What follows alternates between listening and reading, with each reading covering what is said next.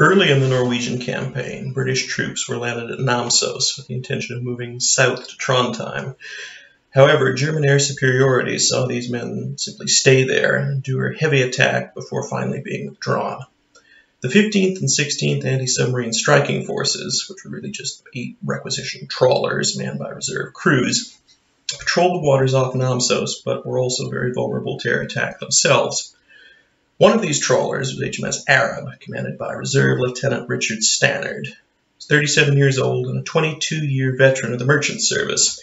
He was subjected to many trials over a five-day period that one might think would be found more in a movie than in real life. There we are. Arab had arrived early in the morning of the 28th of April, and the day's chaos began for them when an air attack set fire to ammunition on the jetty to which she, and more dangerously a French ammunition ship, were moored. Lieutenant Stannard kept his vessel up against the jetty, sent most of the crew aft for their own protection, and then worked for two hours with Arab's fire hoses to put the fire out, with his men occasionally having to wet him down to protect him against the heat. Part of the jetty was saved, so it was a partial success there.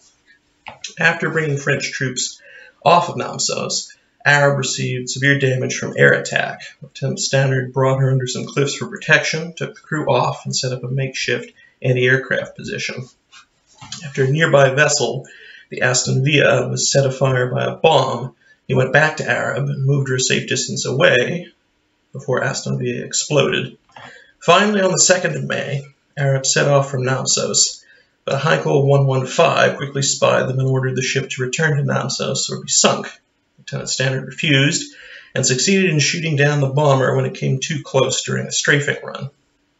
In spite of the engine damage that Arab had received from that air attack on the 29th of April, the ship made it back to Britain. There was no rest for them, though, and she soon afterwards was assisting in the Dunkirk evacuation. This wasn't the end of Lieutenant Stannard's wartime career. He later uh, commanded HMS Ramsey, which was one of the old U.S.-built destroyers that was traded for British bases in 1940, and he helped to sink a German submarine in 1943. After the war, went back to the merchant service and later settled in Australia, where he died in 1977.